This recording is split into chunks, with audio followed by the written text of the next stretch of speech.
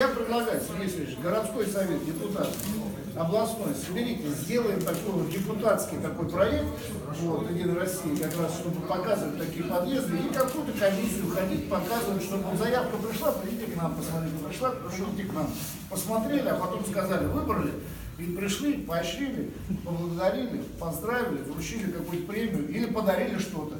Вот здесь даже можем, мне кажется, телевизор уже устанавливать, чтобы люди выходили. А мы здесь Новый год праздновали раз на площадке, Ну, выносили музыку. Новый год. И все дружно? Увидел с инициативой.